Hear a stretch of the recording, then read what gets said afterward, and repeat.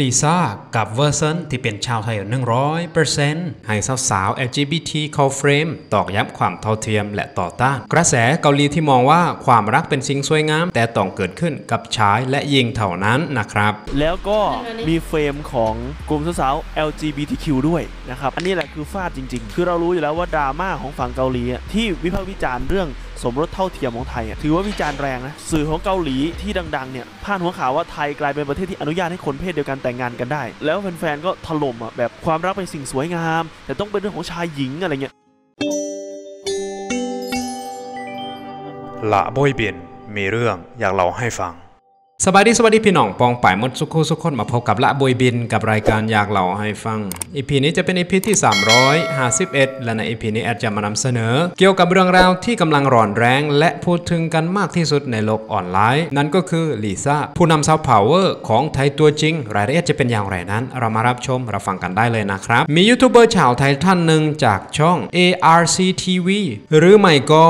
ARC TV แอดไม่มั่นใจว่าอันไหนถูกถ้าพี่ๆเป็น FC ช่องนี้นะครับ ก็ช่วยคอมเมนต์ลงใต้วิดีโอได้เลยนะครับ เขาเป็นคนช่างสังเกตนะ แอดว่า เขาบอกว่า MV เพลง Rockstar ของลิซ่านั้น ได้มีการชักชวนสาวๆ LGBTQ เข้าเฟรมด้วย ซึ่งเขามองว่าเป็นการตอกย้ำถึงความเท่าเทียม และต่อต้านกระแสของชาวเกาหลีใต้ที่วิจารณ์ประเทศไทยยับ ที่อนุมัติกฎหมายสมรสเท่าเทียม เมื่อไม่นานมานี้นะครับ คนเกาหลีบางรายบอกว่า ความรักเป็นสิ่งสวยงาม แต่ต้องเกิดขึ้น ระว่างชายและหญิงเท่านั้น บางรายก็บอกว่าประเทศไทยเป็นประเทศที่ไร้ศีลธรรมในมุมมองของแอดนะครับ แอดมองว่า MV ล่าสุดของลิซ่าเหมือนเธอได้ระบายความในใจของเธอที่แอดอ่านมานาน ผ่าน MV ชิ้นนี้ เพราะเธอมีสิ่งที่เธอใฝ่ฝันอยากจะทำเพื่อบ้านเกิดตัวเองแต่ทำไม่ได้ เพราะต้องอยู่ภายใต้กฎของขายเก่านะครับ พอเธอปฏิเสธในการต่อสัญญา และมาตั้งบริษัทเองก็ทำตามความฝันได้เต็มที่ และนี่ไม่พ้นกับการเป็นผู้นำซอฟต์พาวเวอร์ของไทยสู่สายตาโลกนะครับ โดยแหล่งข่าว True ID ของประเทศไทยได้ให้รู้ว่าลิซ่าลาลิสามโนบาลอดีตสมาชิกวง Blackpink ได้สร้างปรากฏการณ์ผลักดันซอฟต์พาวเวอร์ไทย ให้เป็นที่รู้จักไปทั่วโลกมาอย่างต่อเนื่องล่าสุดกับ MV เพลง Rockstar ภายใต้ค่ายเพลง El Lao ที่อัดแน่นไปด้วยซอฟต์พาวเวอร์ความเป็นไทย ถ่ายทำในประเทศไทยทั้งหมดนำเสนอสถานที่และวัฒนธรรมไทยอย่างสวยงาม จนกลายเป็นกระแสไวรัลไปทั่วโลกมิวสิกวิดีโอเพลง Rockstar เลือกใช้สถานที่ถ่ายทำในยานเยาวราชใช้หน้าเท้า ชื่อดังใจกลางกรุงเทพ ซึ่งเป็นแหล่งท่องเที่ยวสำคัญที่สะท้อนความหลากหลายทางวัฒนธรรมของไทย โดยเฉพาะวัฒนธรรมจีนที่ผสมผสานกลมกลืน อยู่ในวิถีไทย นอกจากภาพตึกรามบานช่องสไตล์ความเป็นจีนแล้วยังมีฉากวิถีชีวิตผู้คนบนถนนที่เต็มไปด้วยร้านอาหาร แผงลอย สินค้าต่างๆ รวมถึงป้ายไฟนีออน สีสันสดใสที่แขวนเต็มสองฝั่งถนน สะท้อนความมีชีวิตชีวาและความคึกคักของผู้คนในย่านนี้ได้เป็นอย่างดี โดยที่ฉากไฮไลท์ที่ลิซ่าเดินอยู่กลางถนนเยาวราช ในชุดเสื้อหนังสีดำเท่ เปล่งประกายท่ามกลางแสงสปอตไลท์ และแสงไฟจากร้านค้า งดงามตระการตาสมกับความเป็นร็อกสตาร์ตัวจริงนะครับ นอกจากนั้นยังมีการเลือกใช้สถานที่ถ่ายทำฉากอื่นๆ ภายในกรุงเทพ อาทิเช่นห้างนิวเวิลด์บางลำพู ที่มีความเก่าแก่และทรงคุณค่า ในเชิงสถาปัตยกรรม แม้ปัจจุบันจะได้รับการปรับปรุงให้ทันสมัย แต่ก็ยังคงกลิ่นอายความคลาสสิกเอาไว้นะครับ รวมถึงโรงหนังออสการ์สถานที่สำคัญอีกแห่งหนึ่งที่เป็นสัญลักษณ์ของวัฒนธรรม และความบันเทิงมาตั้งแต่อดีต สะท้อนให้เห็นว่าการใช้พื้นที่ในเมืองหลวงของไทยเป็นสถานที่ถ่ายทำนั้น นอกจากจะช่วยส่งเสริมการท่องเที่ยวแล้วอย่างแสดงให้เห็นคุณค่าความสำคัญของอาคารเก่าแก่ที่มีประวัติศาสตร์ยาวนานอีกด้วยนะครับ ซึ่งการนำเสนอสถานที่เหล่านี้ผ่านมุมมองใหม่ๆตัวศิลปินเป็นระดับโลกอย่างลิซ่า ได้ช่วยตอกย้ำภาพลักษณ์ความเป็นเมืองหลวง อันทันสมัย แต่แฝงไปด้วย มนต์เสน่ห์ของความเป็นไทยแบบดั้งเดิม ได้อย่างลงตัวและน่าประทับใจนะครับ นอกจาก MV เพลงแล้วนะครับ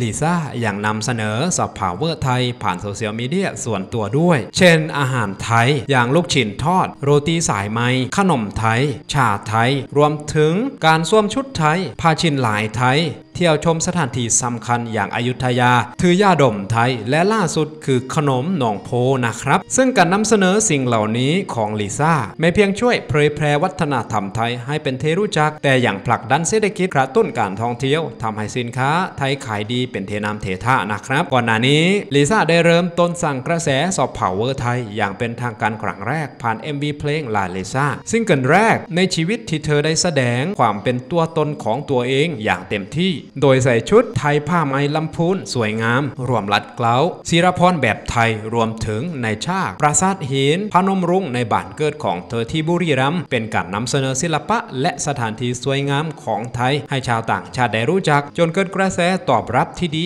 และมียอดวิวถล่มทลาย คว้าอันดับหนึ่งผู้ส่งอิทธิพล ดันสอบพาวเวอร์ไทยนะครับ จากผลสำรวจของ The Attraction พบว่าประชาชนยกให้ลิซ่าเป็นบุคคลผู้สูงอิทธิพล อันดับหนึ่งในการสร้างและผลักดันซอฟต์พาวเวอร์ของไทย ตามด้วยบัวขาวบัญชาเมฆจาพนม พิธาลิ้มเจริญรัตน์ และเบลล่าราณีตามลำดับนะครับ ซึ่งสะท้อนเห็นว่าคนไทยเองก็เห็นถึงพลังอิทธิพลของลิซ่าในการโปรโมทประเทศไทยไปทั่วโลก ไม่ว่าจะสวมใส่หรือหยิบจับอะไร ก็กลายเป็นกระแสไวรัลและสร้างเม็ดเงินให้กับธุรกิจต่างๆ มหาศาลลิซ่าถือเป็นหนึ่งในผู้นำซอฟต์พาวเวอร์ที่ทรงอิทธิพลที่สุดในขณะนี้ โดยความที่เป็นศิลปินระดับโลก มีแฟนคลับนับร้อยล้าน การนำเสนอวัฒนธรรมและสินค้าไทย ของเธอจึงช่วยสร้างกระแสความนิยมในหมู่ชาวต่างชาติ ดึงดูดนักท่องเที่ยว ให้สนใจประเทศไทยมากขึ้น ขณะเดียวกันชาวไทยเองก็ลุกขึ้นมาร่วมผลักดัน และภาคภูมิใจในซอฟต์พาวเวอร์ของชาติไปพร้อมๆกันนะครับ นับเป็นการนำเสนอทูตวัฒนธรรมได้ยอดเยี่ยม เห็นได้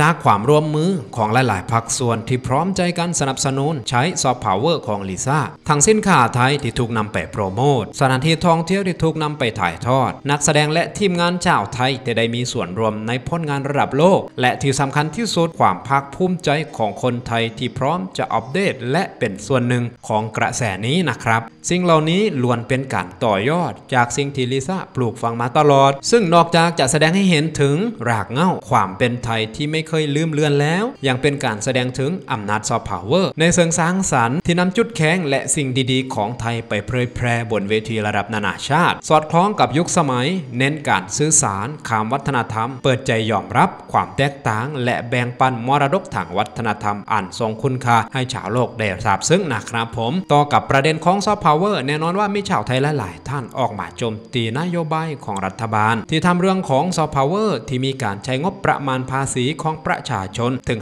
5,000ล้านบาท แต่ผลงานในระยะผ่านมาก็เห็นว่ายังทำไม่ได้ดีเท่าที่ควร และบางกิจกรรมก็เกิดปัญหาขึ้นในระหว่างการดำเนินการ โดยกิจกรรมที่ผ่านมาเช่นงานอีเวนต์ใหญ่ที่เพิ่งจัดในช่วงสงกรานต์ที่ผ่านมา ซึ่งผลที่ได้รับนั้น นางสาวฐาปนีย์ เกียรติไพบูลย์ผู้ว่าการการท่องเที่ยวแห่งประเทศไทย หรือททท ได้มีการเปิดเผยภาพรวมของการจัดงานมหาสงกรานต์ World Water Festival 2024 เย็นถั่วละมหาสงกรานต์ปี 2567 5 วันเต็มนะครับ ตั้งแต่วันที่ 11 ถึงวันที่ 15 เมษายนผมว่ามีผู้เข้าร่วมทั้งหมด 700,000 กว่าคน แบ่งเป็นคนไทย 600,000 กว่าคน ที่เหลือก็เป็นชาวต่างชาติ และสามารถสร้างกระแสเงินหมุนเวียนในระบบเศรษฐกิจอยู่ที่ 2,886.68 ล้านบาท หรือคิดเป็น 30.72 เท่าของงบประมาณที่ใช้ไปนะครับ ซึ่งก่อนหน้าที่จะมีการจัดงานคณะกรรมการพัฒนาซอฟต์พาวเวอร์แห่งประเทศไทย มีการคาดการณ์ว่าจะมีรายได้ไม่ต่ำกว่า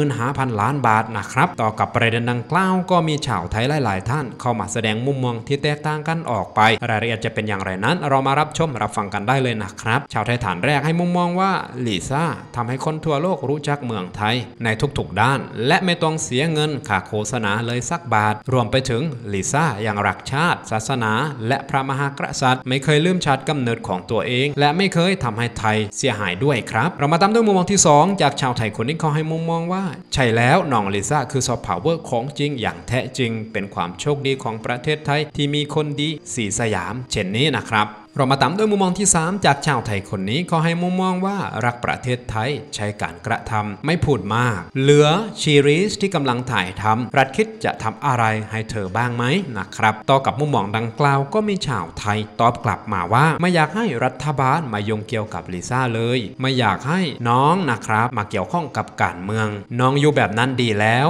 ให้น้องทำในสิ่งที่น้องชอบสร้างชื่อเสียงให้บานเกิดน้องในทางที่เป็นอยู่แบบนี้ดีที่สุดแล้วนะครับเรามาตามด้วยมุมมองที่ 4 จากชาวไทยคนนี้เขาให้มุมมองว่า ใช่แล้วลิซ่าคือซอฟต์พาวเวอร์ตัวจริง ตั้งแต่ลูกชิ้น ยืนกินนะครับ และอีกหลาย ๆ อย่างที่ไม่ลืมความเป็นไทยจนมาถึงย่านเยาวราช ที่จะดึงนักท่องเที่ยวต่างชาติเข้ามาเที่ยวไทยเยอะ ขอบคุณลิซ่าลิซ่าสุดยอดมากจริง ๆลิซ่าคือของจริงของไทยแลนด์ปรบมือครับ เรามาตามด้วยมุมมองที่ 5 จากชาวไทยคนนี้เขาให้มุมมองว่าอันนี้จริงน้องเยี่ยมมากๆ ฉลาด เสริมสร้างความสัมพันธ์ไทยจีน คนไทยต้องช่วยกันสนับสนุนน้องน่ารักนะครับ ไม่ว่าโด่งดังแค่ไหนน้องไม่ลืมความเป็นรากเหง้าของความเป็นไทยนะครับผมเรามาตามด้วยมุมมองที่ 6 จากชาวไทยคนนี้เขาให้มุมมองว่าลิซ่าสุดยอดมากครับภาคภูมิใจในตัวน้องลิซ่าเธอรักชาติไทยทำเพื่อชาติไทย ขอบคุณมากมากขอให้ปังยิ่งยิ่งขึ้นไปครับ เรามาตามด้วยมุมมองที่ 7 จากชาวไทยคนนี้เขาให้มุมมองว่ารัฐบาลใช้งบตั้งแต่หลักร้อยล้านถึงพันล้าน แต่ไม่เห็นเป็นรูปประธรรมแต่ลิซ่าใช้งบหลัก 10 ล้าน สร้างซอฟต์พาวเวอร์มากกว่ารัฐบาลเป็นพันเท่า คันแล้วก็ไม่ทุกจุดก็เป็นอย่างที่เห็นนั่นแหละครับทุกคนนะครับผมเรามาตามด้วยมุมมองที่ 8 จากชาวไทยคนนี้เขาให้มุมมองว่า อยากให้อธิบายพร้อมหลักฐานงบโปรโมทซอฟต์พาวเวอร์5,000 ล้าน ฐานผู้ทรงเกียรติเอาไปใช้อะไรบ้างนะครับ เรามาตามด้วยมุมมองที่ 9 จากชาวไทยคนนี้เขาให้มุมมองว่า สุดยอดมากครับน้องลิซ่าตัวจริงเสียงจริง เก่งฉลาด สวยน่ารักครบถ้วน ด้วยความสามารถของตัวเอง ไม่เคยลืมความเป็นไทยเลยนะครับ เรามาท้ายด้วยมุมมองสุดท้ายจากชาวไทยคนนี้เขาให้มุมมองว่า ผมคิดว่าถ้าน้องลิซ่าอยากถ่ายทำตรงไหนในประเทศไทย พวกเราคนไทยยินดีให้สถานที่นะครับ แบบไม่มีเงื่อนไขอะไรเลยนะครับ ผมนั่นก็เป็นมุมมองของชาวไทย แสดงให้เห็นว่าชาวไทยไม่ว่าจะอยู่จุดไหนบนโลกใบนี้ ก็พร้อมที่จะสนับสนุนน้องลิซ่าเต็มที่นะครับ และก็เห็นหลาย ๆ คนไม่ว่าจะเป็นนักร้องเซเลบนะครับ ก็ ล้วนแล้วแต่ React Teaser MV เพลง Rockstar ของลิซ่านะครับ บางคนก็ลงใน IG